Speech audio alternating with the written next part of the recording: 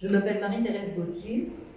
Euh, je suis née à Varennes à l'automne 1934 et mes deux parents sont originaires de Saint-Just et se sont installés à Varennes euh, après leur mariage. Euh, mon père, parce que c'était plus favorable à l'activité économique de mon père, qui montait son entreprise de transport. Bon, et je témoigne en tant que fille de Jean Gauthier, qui était résistant et déporté, et qui est mort en camp de concentration, qui est mort au Soutov, et qui était résistant, euh, faisant partie du groupe du mouvement de résistance charentais, Honoré Patrie. Mon premier souvenir, euh, c'est l'arrivée des Allemands en Marraine. Euh, c'était donc l'été 1940. Ma mère et une voisine, Madame Foligny, qui était une dame réfugiée venant de Moselle, euh, était à la fenêtre du grenier qui donnait sur la rue et euh, qui se penchait régulièrement par la fenêtre euh, pour voir ce qui se passait. Et moi, j'ai longtemps, c'est donc l'arrivée des Allemands qui défilaient dans l'arène, j'ai longtemps eu, je ne l'ai plus maintenant, le son des bottes dans la tête. Ces dames étaient très, toutes les deux très soucieuses, très graves. Et mon petit frère et moi, nous étions, nous ne voyions rien, mais nous étions assis plutôt accroupis par, ainsi par terre, presque à leurs pieds. Et euh, tout ça s'est passé dans le silence, ça a duré très longtemps. Je ne sais pas combien, mais très longtemps.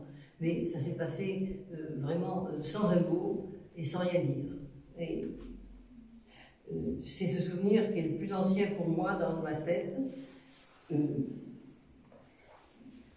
cette personne-là, Madame Foligny, était une réfugiée venant de, de Moselle j'ai su après qu'elle euh, était venue parce qu'au moment de la déclaration de guerre en septembre 1939, les autorités craignant, ou plutôt sachant que les Allemands avaient l'intention de reconquérir l'Alsace et la Lorraine, avaient évacué toutes ces zones frontières euh, du nord et de l'est de la France.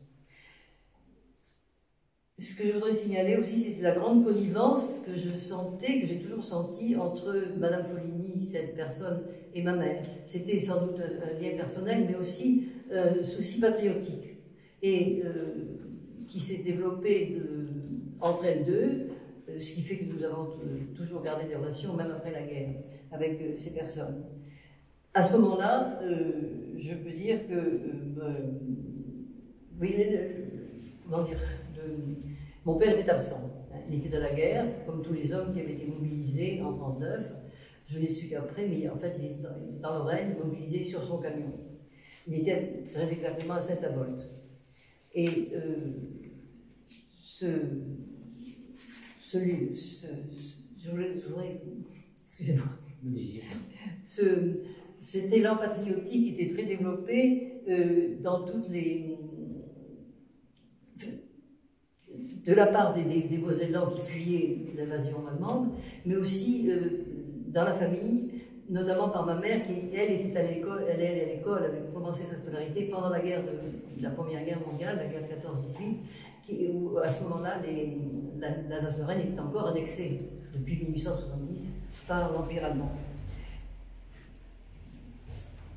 Euh, la France est donc euh, par la suite, la France a été occupée et euh, à partir de juin 40, et avec la signature de la 6, à ce moment-là, les hommes qui n'avaient pas été faits prisonniers sont rentrés et mon père est revenu.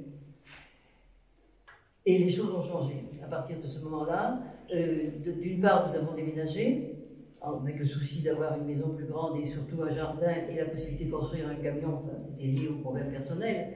Mais euh, nous avons vécu aussi dans la zone occupée. Zone occupée, ça veut dire que les Boches sont là. J'emploie exprès ce mot-là, que je n'emploierai plus aujourd'hui, mais c'est comme ça que nous appelions les Allemands à l'époque.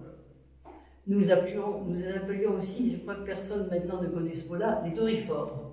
Les dorifores sont des parasites qui mangeaient les feuilles des, pommes de terre, ce qui fait qu'ils empêchaient les pommes de terre de pousser. effectivement, c'était bien des parasites. Parce que la France occupée, ça veut dire restriction. Restriction, d'abord sur le plan matériel, peut-on dire. Euh, il y avait des tickets pour tout des tickets alimentaires, des tickets pour les vêtements, des tickets pour les pneus de vélo, etc. Mais aussi restriction des libertés. Par exemple, euh, il y avait le couvre-feu, on n'avait pas le droit de sortir la nuit. Hein, et euh, tout était surveillé. Les, actualités au cinéma vantaient l'occupation allemande et la collaboration du régime, du régime de Pétain et de Vichy. et nous étions, peut-on dire, enrégimentés. À l'école, par exemple, la, la, la directrice d'école commençait la journée, je pense qu'elle en avait reçu les consignes, par une chanson que nous chantions, et elle surveillait que les lèvres de tout le monde euh, bougeaient. Donc nous chantions tous. Et nous chantions Le maréchal, nous voilà, devant toi, le sauveur de la France. Donc les esprits étaient euh, enrégimentés dès, l'enfance. Euh, au contraire, je peux dire que dans la famille aussi, non seulement dans la famille au sens restreint, mais et les amis que nous fréquentions, euh, vivait dans un état d'esprit très patriotique qui était entretenu notamment par des chansons. Alors, cette chanson, je ne sais pas si vous en avez entendu parler, mais c'était que nous chantions aussi de mon cœur avec Madame Foligny et sa famille. C'était euh, Vous n'aurez pas l'Alsace et la Lorraine, euh, et malgré vous, nous resterons français. Vous avez pu germaniser la plaine. C'est ça, et, mais malgré nous, nous resterons français. Mais, mais, notre cœur, vous ne l'aurez jamais. Et, et en je n'ai pas chanté ça, me manque. Euh, et cette atmosphère euh, d'état d'esprit euh, se développait aussi dans la famille, j'en ai vagues souvenirs, mais notamment dans des grandes réunions de famille. Il y avait de grandes discussions. En reconstituant, alors je ne comprenais pas tout ce dont il était question, j'étais trop jeune, une fois mon père était revenu, mais bon. Mais en reconstituant les mots dont je me souviens, euh, Laval, Daladieu, Front Populaire, euh, et puis un très compliqué qui se terminait par qui? Je pense que c'est la Tchécoslovaquie. c'était très compliqué à l'époque, je ne comprenais pas très bien.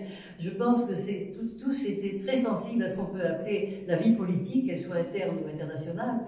Et euh, il y avait une sensibilité. Euh, ils étaient tous d'accord pour défendre la patrie, et ce mot revenait beaucoup.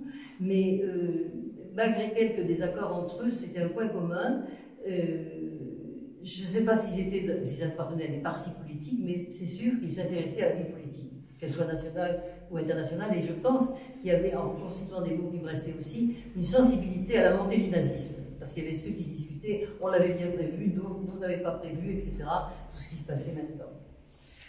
Euh, c'est dans ce contexte-là, euh, très entretenu aussi, notamment par le chant euh, dont j'ai parlé là, sur, sur, la patrie, que nous chantions euh, quelquefois en famille, mais à la maison avec ma mère, mais que nous chantions, mon petit frère et moi, quand nous partions à l'école. Parce qu'entre-temps, nous avions déménagé, j'ai signalé, à l'autre de Marraine, on rentrait dans Marraine, et souvent, comme nous habitions une avenue que nous appelions l'avenue de la caserne, c'est maintenant l'avenue Leclerc à Marraine, et nous croisions souvent des Allemands, des Boches, euh, qui allaient dans Marraine. Et euh, nous avions un malin plaisir, mon, frère et moi, à chanter cette chanson, mais quand nous croisions le, le Bosch, nous le, nous murmurions entre nous. En patois chanté, on dirait nous, nous, nous, melounions, melouner, melouner, c'est un verbe qui veut dire euh, euh, parler sans distinctement, euh, détacher les paroles et s'exprimer. Bon, et je n'ai aucun souvenir que ma mère nous ait dit que, nos parents nous aient donné des consignes, mais nous savions que c'était interdit, mais nous avions envie de le faire quand même. Il y avait un état d'esprit général qui faisait que ça se passait comme ça.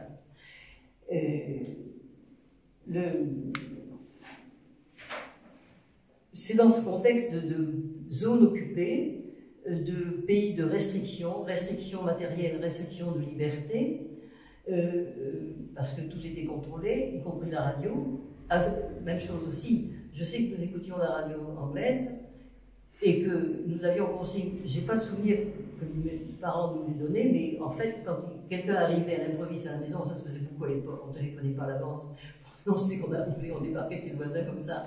Il fallait éteindre la radio et tourner le bouton.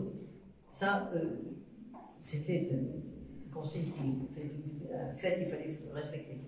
Et c'est dans ce contexte-là, dans cette zone occupée, que euh, la Gestapo a arrêté mon père, donc Jean Gauthier, GAU, je GAU-TIER, hein, le 14 octobre 1943. Et je me souviens très bien que c'était un jeudi, puisque nous étions, pas, nous étions à la maison, donc nous n'étions pas à l'école.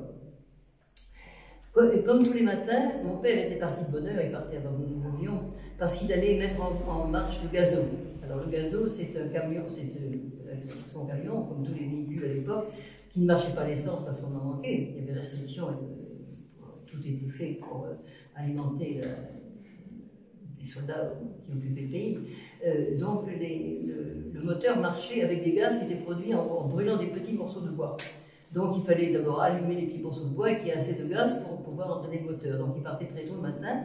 Et ce jour-là, il est repassé dans début de matinée, vers 8-9 heures, quelque chose comme ça, euh, rechercher quelque chose qu'il avait oublié de prendre. Et euh, donc, voilà, il était dans la maison et le camion était devant la, maison, euh, le moteur tournait encore. Donc c'était un arrêt très, très prévu, très rapide, il était prévu.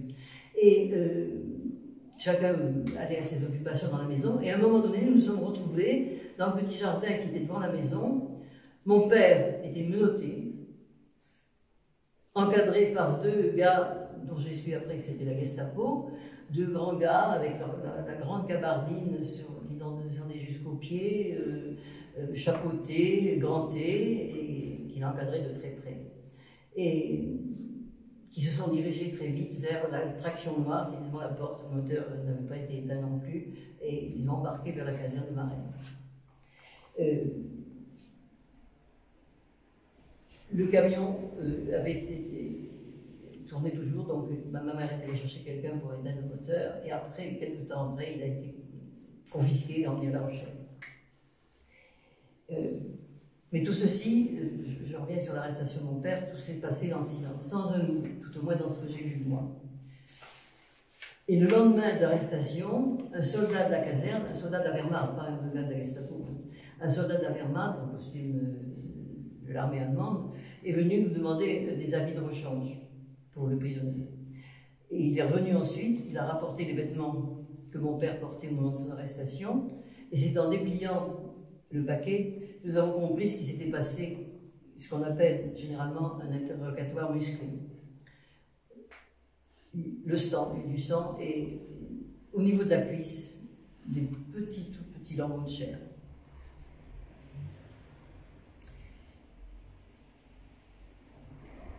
Et nous avons compris ce que c'était.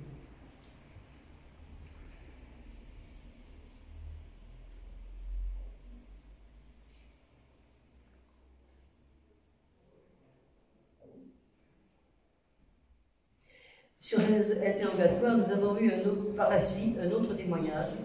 C'est une personne qui avait été une, camarade d'enfance de mon père, qui était juste aussi, et comme couturière, elle avait été réquisitionnée à la, caserne de Marraine.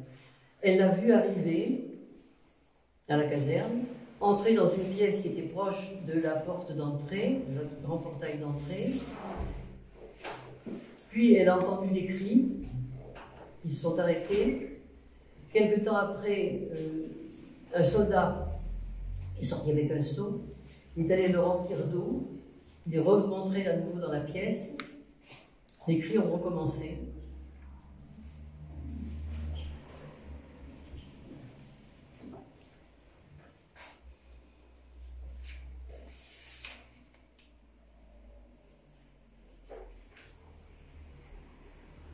Dans les jours qui ont suivi, nous avons appris des autres arrestations d'amis, de connaissances. Et euh, après les interrogatoires, les hommes euh, qui avaient été emmenés à la prison, les hommes ont tous été emmenés à la prison Saint-Maurice à Rochefort.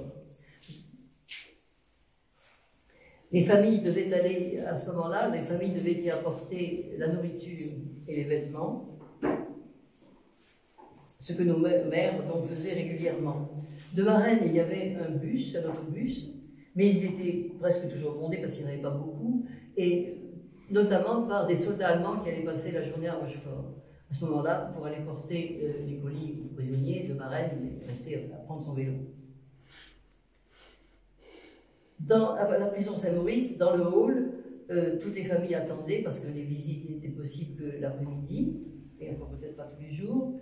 Et euh, le gardien, à ce moment-là, prenait le colis, l'apportait aux prisonniers et ramenait un colis avec euh, les vêtements sales euh, ou le, thermos qui était vide, et dans lesquels, quelquefois, il y avait des petits mots. Et un jour, ma mère est revenue de Rochefort, parce qu'elle y allait très souvent en vélo, en nous disant J'ai vu papa. Bien sûr, c'était notre joie. Et en effet, elle avait appris par les dames de Rochefort, qui, parce que les mères se rencontraient dans le hall avant de pouvoir donner leur colis, elle avait appris qu'en montant sur un ancien rempart qui entourait Rochefort et qui passait pas loin de la prison, et on arrivait à voir les prisonniers parce que la hauteur de ce rempart était à la hauteur des fenêtres de la pièce dans laquelle étaient les prisonniers au premier étage. Euh, donc, quand elle a pu, euh, ma mère nous a emmenés, donc un jeudi, et parce que je crois je suis pas sûre que le, dimanche vous pouvez voir les prisonniers, enfin, pas apporter Elle nous a emmenés, et je me souviens très bien euh, d'abord d'un homme qui a crié à, à l'intérieur de la pièce Gauthier ta femme. Bon, et puis j'ai vu mon père arriver après, à suite, euh, se, je dirais se hisser sur des barreaux, euh, se hisser pour, pour, apparaître la fenêtre, mais il y avait aussi des barreaux derrière la fenêtre. Euh, et je, suis étonnée avec le recul, je l'ai entendu crier T'en fais pas, maman, on les aura. Une autre fois, c'est le gardien, Émile, qui était un, Alsacien enrôlé de force, qui emmenait quelquefois des enfants des prisonniers voir leur père. Donc, euh, il m'a emmené et euh, j'ai reconnu euh, de l'intérieur la pièce dont j'avais vu que la fenêtre avec ses barreaux. Une des fois où je suis allée, une, dans la pièce, il y avait plusieurs personnes, plusieurs hommes. Hein. et une fois, un de ces hommes a voulu mettre une lettre dans ma poche, la poche de mon manteau est arrivé en hiver. Malheureusement, ce manteau, c'était une fausse poche.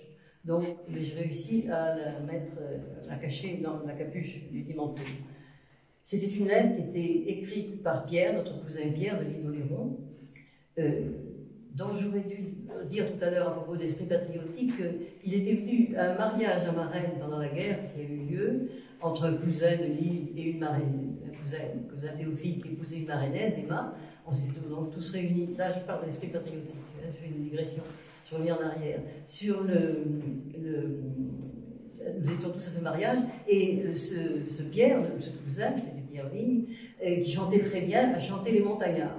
C'était quelqu'un originaire du sud-ouest, chantait les montagnards, et nous reprenions tous le, refrain avec l'impression, enfin, c'est l'impression que j'en avais toujours gardé, de, s'affirmer face à l'occupation des Boches. Euh, on chantait les montagnards avec une foi, une ardeur patriotique vraiment qui, éclatait. Alors je reviens, c'est donc ce Pierre qui écrivait à sa femme dans l'île d'Oléron, euh, qui envoyait une lettre à sa femme. En effet, elle avait beaucoup de difficultés à partir. De toute façon, pour sortir de l'île d'Oléron, il fallait un laisser-passer, un Osweil, et elle n'a jamais pu en obtenir un. Donc, il lui écrivait. Et par la suite, après, c'est après la guerre que nous avons appris que Pierre, dans ses interrogatoires, avait compris qu'il serait condamné à mort et il demandait donc à sa femme de lui envoyer une ligne. Et ça, nous n'avons appris qu'après la guerre.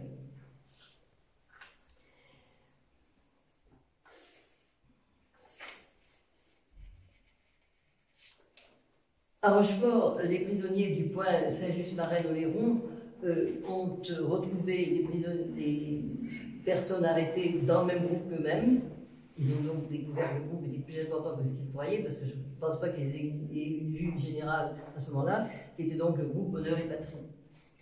Et, euh, excusez-moi, mais c'est des coupures, parce que j'ai oublié de dire au départ que mon frère, mon père était, euh, la fille donc de Jean Gauthier, qui était résistant déporté, faisait partie du groupe Honneur et Patrie, groupe charentais.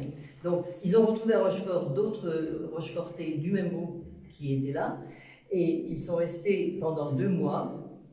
Et avec le recul, on s'est aperçu que les conditions de détention étaient relativement faciles par rapport à ce qu'ils ont connu ensuite, parce qu'au bout de deux mois, mi-décembre, ils ont été, euh, après avoir rejoint ceux qui avaient été arrêtés sur La Rochelle, et ils sont partis sur Bordeaux, ils ont été internés au Fort du Var, où les conditions de vie étaient beaucoup plus difficiles, à tout point de vue, pas de visite, euh, ou très, pas de pas de colis ou très peu de colis, et en plus, c'était l'hiver, il faisait froid.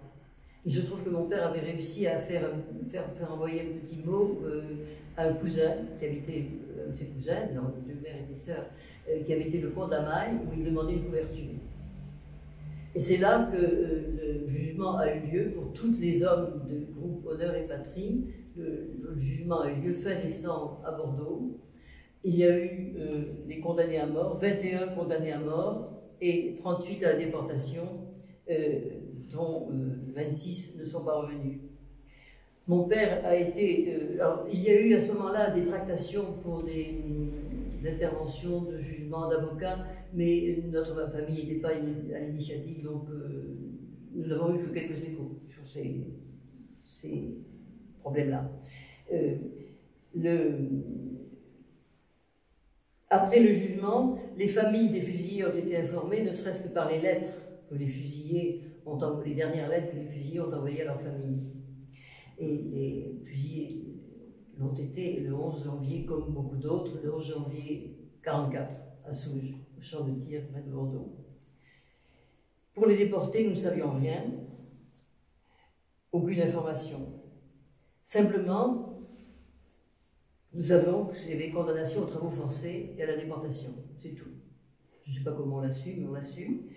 Simplement, c'est quelques semaines après, euh, nous avons appris qu'il partait vers le nord. Alors nous l'avons su, de famille en famille, ça se disait, par des petits mots je ne sais pas comment c'est déporté, euh, pu les obtenir, des petits, des petits papiers sur lesquels il était écrit Partons vers le nord, prévenir, mettons, famille No à Saint-Just, euh, famille euh, et à Marennes, famille Gauthier à Marennes, famille Maluré euh, dans l'île de Léron. C'est tout ce qui était marqué. alors, après la guerre, nous avons su qu'effectivement, mais ce, phénomène s'est produit pour beaucoup d'autres transports de, de, de, de, à la déportation, par des petits mots qui étaient jetés sur la voie, qui étaient récoltés ou pas par des cheminots qui avaient au moins l'esprit de résistance et qui transmettaient l'information aux familles.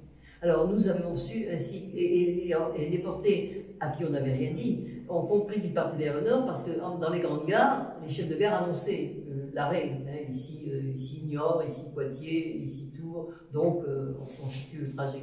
Donc, c'est après la guerre que nous avons appris que, tout ce convoi a, a séjourné d'abord à Fresnes, et par le même système, après, ils sont partis vers l'Est. Par la même chose, par le même système de petits papiers qui a été trouvé sur la voie, nous avons appris que euh, les hommes partaient donc vers l'Est. Vers l'Est, c'est l'Allemagne. Bon. Puis c'est tout ce que nous, savions. Et en fait, euh, la déportation, c'est après la guerre que nous avons appris que tout le convoi s'est arrêté, a été envoyé sur le, camp du Struthof en Alsace, qui était annexé à l'époque, donc dans l'Allemagne, hein, l'Asie de l'époque, et euh, le, camp de Nanswiller, qui était un camp de concentration, que tous ceux qui ont été déportés étaient avec la, des NN, nuit brouillard, c'est-à-dire qu'ils devaient disparaître sans laisser de traces et sans information aux familles. Et euh, mon père est mort, mais nous l'avons su qu'après la guerre, il est mort, par du Soutov. Et comme nous ne savions rien, nous, nous, nous étions plutôt confiants, parce que nous pensions que ces hommes partaient vers des camps de travail, et que, ma foi, mon père était d'ailleurs un travailleur manuel, c'était plutôt un grand fort gaillard, donc nous pensions que tout se passerait bien.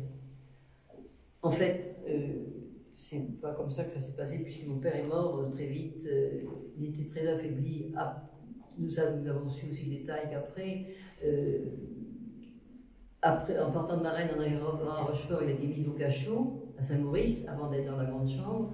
Euh, comme la plupart d'ailleurs de ceux qui arrivaient, je crois que c'était une précaution du système. Ils ne voulaient pas que les prisonniers se, voient entre eux tant que leurs interrogatoires n'étaient pas terminés. Et en fait, comme euh, après, avec les plaies qui s'étaient développées après les interrogatoires, la gangrène s'y était mise, et nous avions su par une tante que mon père avait à Rochefort, qui allait souvent à la prison, euh, que passe toujours par le même gardien, euh, Émile, qu'il avait été question de lui couper la jambe parce que la gangrène s'y était mise. En fait, il avait gardé sa jambe, mais il était très faible et il a attrapé euh, beaucoup de maladies. et en fait, il avait à la fois le typhus et la, la mais ceci, nous n'avons appris qu'après la fin de la guerre, avec le retour des déportés qui ont survécu. Et nous l'avons appris donc dans la deuxième quinzaine du mois de mai 45.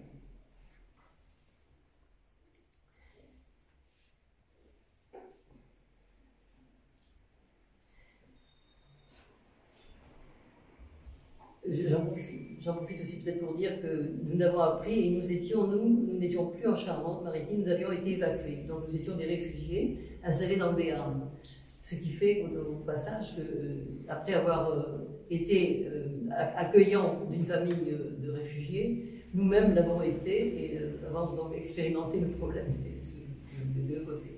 Nous avions d'ailleurs été très, très, nous, très, très bien reçus aussi dans, dans le Béarn sauf peut-être la personne qui devait nous loger, euh, mais nous avons beaucoup sympathisé avec le reste de sa famille, et peut-être l'instituteur, bizarrement, petit détail, mais ça compte.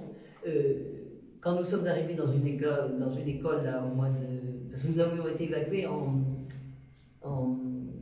de janvier 45 à, mai 45, je parle de la famille. Euh, nous sommes donc arrivés en milieu d'année et nous n'avions pas le livre de, de lecture qu'il fallait et des, petits camarades de, la classe dans laquelle on nous avait mis, mon frère et moi, euh, nous ont prêté des livres et que l'instituteur a fait rapatrier. Donc nous avons passé le reste du temps de lecture sans livre. Ce qui fait que le lendemain, comme nous étions partis nous, avec nos, objets de classe, moi je suis reparti à l'école avec le livre de Marraine. J'avais le livre de Marraine. Et du coup, après, l'instituteur a compris qu'il fallait mieux, ces choses se sont arrangées. Ça, c'est une, une parenthèse, une digression.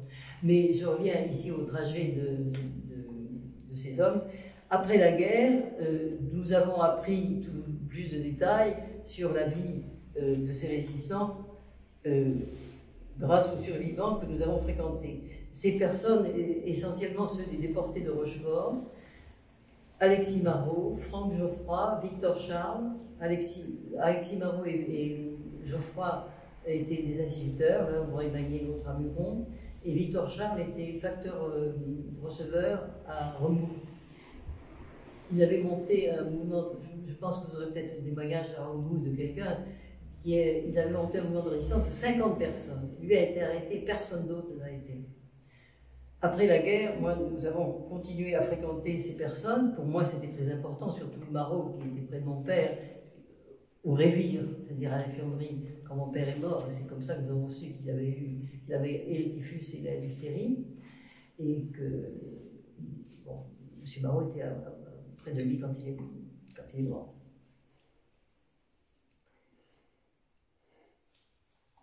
Je trouve important de, signaler qu'effectivement, j'ai beaucoup euh, apprécié et que ces messieurs, les trois que je viens de citer, aient bien voulu nous recevoir, et moi particulièrement, après la guerre, parce que j'ai beaucoup appris auprès d'eux. Et, euh, mais je me souviens particulièrement d'une rencontre chez Victor Charles à Romou. Je pense que c'est les déportés qui on est allé plusieurs fois, mais notamment euh, une fois où il y avait quatre anciens déportés, Gaillot, Geoffroy, Marot et Victor Charles. Et ce qui m'avait beaucoup fait, alors on a discuté d'un tas de choses, mais euh, quelquefois familiales, actuelles, quelquefois le passé, mais ce qui m'a énormément frappé, c'était la connivence discrète profonde entre ces quatre hommes qui avaient vécu la même chose. Il se trouve que euh, nous sommes aussi allés quelquefois euh, chez, Victor Charles tout seul, notamment quand j'avais appris qu'il était presque mourant. Et c'est là qu'il nous a montré euh, un petit carnet où il avait marqué toutes ces recettes de cuisine qui permettaient d'évader par la tête mentalement quand eux avaient faim et que j'ai appris aussi qu'il était responsable du Parti socialiste clandestin auquel mon père avait adhéré. Et Victor Jean était tout, tout, content de, nous l'apprendre. Euh, toujours après la guerre, avec Marot et Geoffroy, euh, nous sommes, à l'initiative de Geoffroy, nous sommes revenus dès 1947 visiter le camp du Struthof. Comme il y avait de la place dans la voiture, ma mère et moi, y sommes allés aussi.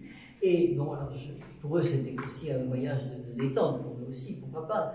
Mais euh, je me souviens très bien que donc, il restait encore quelques baraques au Struthof à l'époque, et euh, ils, euh, ont été particulièrement sur. Mais le, camp était redevenu un camp de prisonniers pour les prisonniers allemands. Et leur étonnement manifeste d'y voir les prisonniers allemands jouer au football dans le camp, là où eux avaient vécu une vie tout à fait différente. Et puisque je suis au Struthof, euh, je voudrais signaler aussi que euh, nous y allons. Enfin, bon, mon, père y a été incinéré, comme tous ceux qui sont morts au camp. Il a été passé au crématoire, et ses cendres ont été mises dans la fosse commune qui est en bas du camp, euh, avec toutes les autres cendres de tous ceux qui, sortaient du crématoire. Mais justement, ce, passage au crématoire me fait penser que par la suite, il y a eu dans les années au Struthof, dans les années, d'abord le, camp a été saccagé. Euh, il est resté notamment deux baraques euh, tout à fait en haut du camp. L'une d'elles euh, contient un musée actuellement, l'autre contient des, outils pour entretenir le camp, mais elles ont été brûlées dans la fin des années 70. Hein. Et en même moment, le monument qui existe ici à Saint-Just, dans les mêmes années, a été saccagé. C'était une espèce de renaissance du nazisme, enfin de, y en France, 25 ans après la guerre. je reviens aussi au Struthof pour dire qu'au début des années 70, il y a eu l'inauguration d'un grand monument qui a la forme d'une grande fumée qui évoque le crématoire. Et euh, on nous a fait venir, on y est allé, on y allait régulièrement. On est allé à la cérémonie, je me souviens très bien que c'était au mois de juin, mais il y avait des grosses, il pleuvait, il faisait un temps terrible, avec beaucoup de pluie. Et les familles euh, ont été invitées à venir trois heures avant la cérémonie. On a donc attendu pendant trois heures, on était sous la pluie, et puis on attendait, on attendait, on attendait une autorité. Je ne sais pas trop qui c'était, mais je crois que c'était le président de la République de l'époque, qui est arrivé en retard, en voiture, et qui a descendu le camp en voiture. Nous n'avons rien dit, mais nous ne sommes plus jamais revenus à aucune cérémonie officielle au Sotof. Moi, j'y reviens, enfin, nous y sommes revenus tous les ans, je continue à y aller tous les ans, seul de préférence. Ça, ce sont les souvenirs d'après la guerre.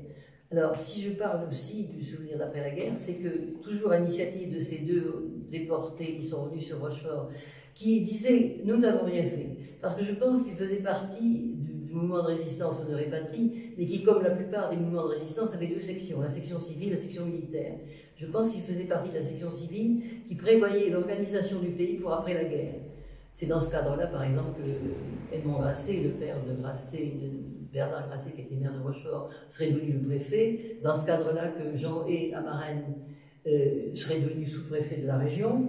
Bon, et puis alors il s'est fallu prévoir qui est-ce qui serait à la mairie, qui est-ce qui serait contrôler la poste, euh, les téléphones, qui est-ce qui contrôle l'électricité, enfin prévoir l'organisation du pays après la guerre. C'était la partie civile. Puis l'organisation de la résistance pendant la guerre, pendant l'occupation. Et puis il y avait la section militaire qui préparait la libération du pays par les armes. Et c'est dans ce cadre-là qu'avaient eu lieu les parachutages d'armes anglaises dans le marais Saint-Just qui était bien placé, loin de, la circulation essentielle qui se passait euh, sur une autre route entre Saint-Just et Saint-Germain. Et c'est à l'initiative d'anciens déportés de Rochefort qui disaient, je pense à Marois Geoffroy, qui étaient des incites, et qui disaient Nous, nous n'avons rien fait. C'était beaucoup dire. Mais ils n'avaient rien fait de matériel, de concret, si vous voulez, euh, qui pouvait se voir. Et ils avaient été euh, très frappés par euh, le sort de ces habitants de Saint-Just, Marennes, Oléron, qui avaient, euh, qui avaient participé à des parachutages d'armes, et qui avaient, euh, et transport d'armes, et qui avaient énormément souffert. Alors, semble-t-il, Barreau et Geoffroy ont eu des interrogatoires légers, peut-on dire. c'est ce qu'ils disaient. Nous n'avons rien fait, nous n'avons rien subi, et nous étions plein d'admiration pour ces personnes de Saint-Just, Marennes, Oléron, et c'est eux qui ont pris l'initiative dans les années qui ont suivi la guerre, de créer ce petit monument qui existe à la Reine, à Saint-Just, au pont de la Bergère. Et le monument a été inauguré en juin 1967, après avoir, euh, ça n'a pas forcément été facile au départ, convaincu le maire de l'époque euh, de faire ce monument. Voilà. Euh, c'est l'essentiel maintenant, ce qu'il y a.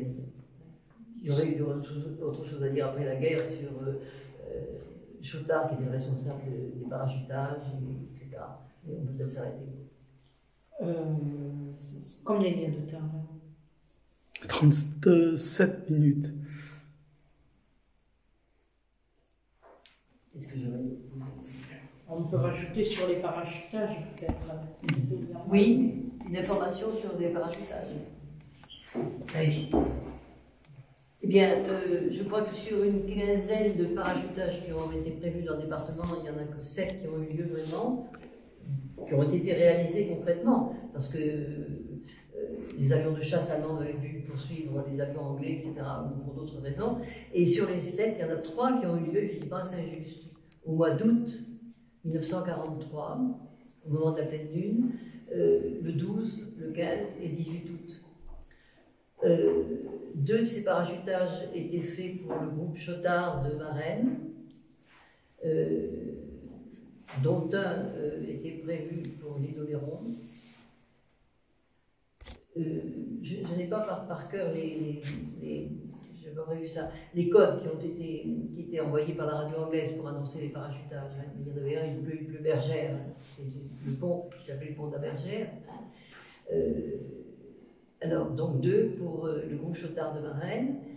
Euh, c'est les conteneurs de, 200 kg qui contenaient des armes anglaises ont été euh, entreposés sur le, sur le marais sur place, puis après transportés dans la famille d'Orichon dans, Saint-Just.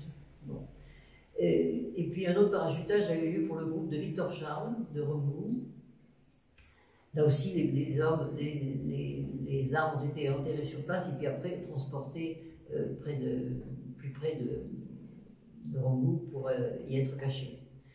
C'est dans ce cadre-là que mon père. Euh, mon père n'a pas participé au parachutage de Saint-Just, il faisait partie de l'équipe de parachutage pour le Victor Charles et, c'est lui qui a fourni le camion qui a transporté les armes du lieu de parachutage à, à d'une part et euh, dans, dans Saint-Just d'autre part. Enfin, lui, lui, son camion. Justement, alors nous avons eu un récit euh, exceptionnel sur les conditions de, transport, parce que euh, il y a une fois où mon père n'a pas pu inventer un prétexte pour disparaître la nuit, puisque tout, tout ça avait eu la nuit. Et il, a donc prévenu sa femme. Et c'est ma mère qui l'a raconté après, y compris à Nicole aussi. Euh, le, il a transport, et le transport, je pense, a eu lieu fin août ou début septembre 43. Le transport était, lieu du, lieu de, était du lieu de parachutage à la ferme des Gorichons dans Saint-Just. Et il a raconté que, alors ma mère a été prévenue le soir, donc elle était inquiète, elle attendait. Mon père est rentré de nuit, euh, très, tout, froid, tout gelé, bon, et il a raconté l'essentiel, disant que dans le parachutage, euh, il est était au volant du camion. De chaque côté de la cabine, il n'y avait pas la scène d'un côté et Chetard de l'autre. Chacun avec une arme. Ça veut dire qu'ils avaient ouvert un des conteneurs et remonté deux armes. Et euh, je crois qu'il y avait quelqu'un d'autre, mais j'ai oublié le nom. Mais devant le, camion, pour, devant le camion, pour circuler, il y avait deux gendarmes. Deux gendarmes de marine. C'est quand même intéressant à savoir. Il y avait des gendarmes de, de base, peut-on dire, qui étaient d'accord, alors que nous savions tous que le responsable général, qui s'appelait Touya, était tout à fait opposé et cherchait à savoir, parce que par les choses qu'on a sues par la suite, parmi le groupe qui encadrait la résistance sur Marraine, euh, l'un d'eux nous a dit, il travaillait à l'enregistrement je crois, nous a dit que Touya, le chef, le grand chef de la gendarmerie à Marraine, essayait de faire parler. Parce qu'ils avaient appris qu'il y avait des armes dans le coin, ils voulaient faire parler. Euh, et ils n'ont pas su. Et quand, une fois que les armes ont été découvertes, euh, ce, même euh, Touya a dit à cette personne-là euh, Vous n'avez pas voulu nous dire, mais ça y est, les armes, nous les avons retrouvées.